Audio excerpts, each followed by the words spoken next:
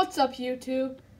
Cobra Brick Productions here with my custom micro-scaled Kessel Run Millennium Falcon from Solo a Star Wars story. Now this Millennium Falcon isn't exactly the one we see in the movie, it's actually what happens to it right after the movie takes place. So it's gotten a little bit more of its normal colors, less blue, and this was a fun build for me, pretty quick. Uh, little black things on the bottom are just the uh, landing gear. And this was a pretty fun build. So yeah, let me show you how to make it. Uh, so these are the pieces you'll need to make this Millennium Falcon. These are mostly pieces you'll probably have somewhere in your spare piece collection. So let's get right into it. Starting off, you're just going to need one of these round tiles and two of the blue one by two tiles. And you're just gonna put them right there and here. Then you will need these two one by two tiles with like rounded pieces and they're hollow studs. Two of those to go right here and symmetrical on the other side. Then just two light gray grill pieces. And these will go right on the side here and here.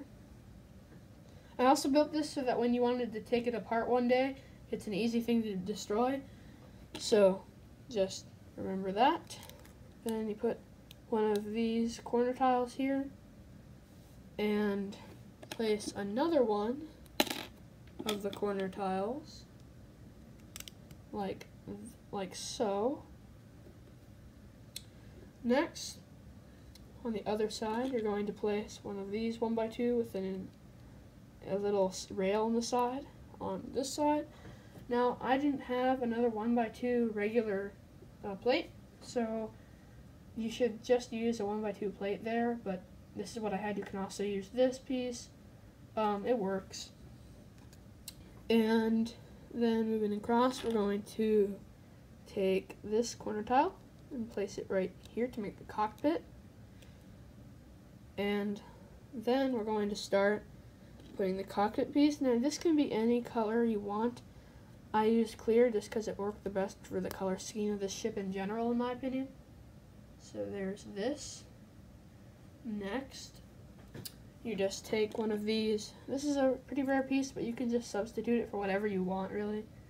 Uh, just this 2 by 3 with this little triangular thing on the end for about one stud. And you place this right up here.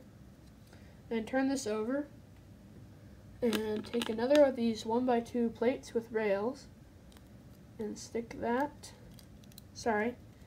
Take this thing off, I made a mistake and place it up another stud and place this right here and our last rail piece will just go right there so that's how that looks and now moving on to the second part which is the top half so take another round plate on in the middle just place this 2 by 2 cylind cylindrical tire tile right there.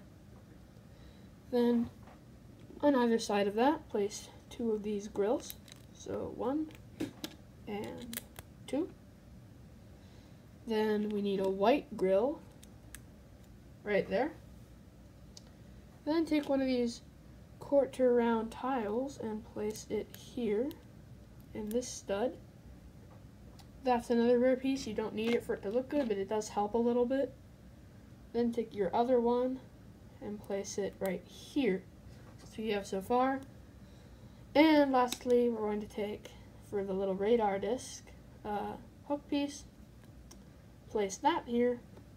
And one of these pieces, another not too common piece, but you can probably substitute this for whatever. And the hook looks good by itself if you can't. And just place this in here. Now it won't fit all the way, so you'll notice, but it gives it that sense of um, the radar just sticking up a little bit. You can also pretty much turn it back all the way you can.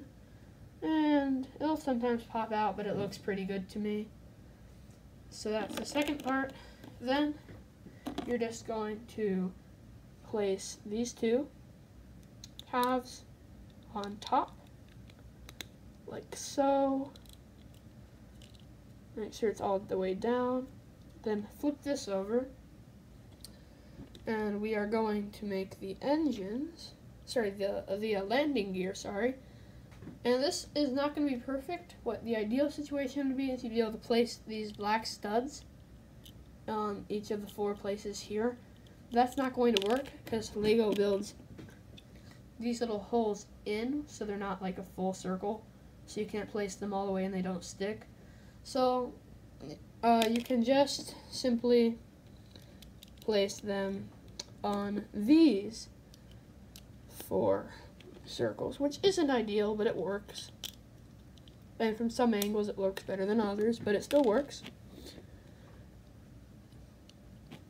And there you have it. There's the just post Kessel Run Millennium Falcon. yeah guys, thank you for watching this video. If you enjoyed the video, please like it and subscribe for more LEGO hauls, reviews, MOCs, speed builds, and news. This, pre this channel covers nearly anything LEGO related, so stay tuned and see you again soon. If you like this MOC, please comment down below.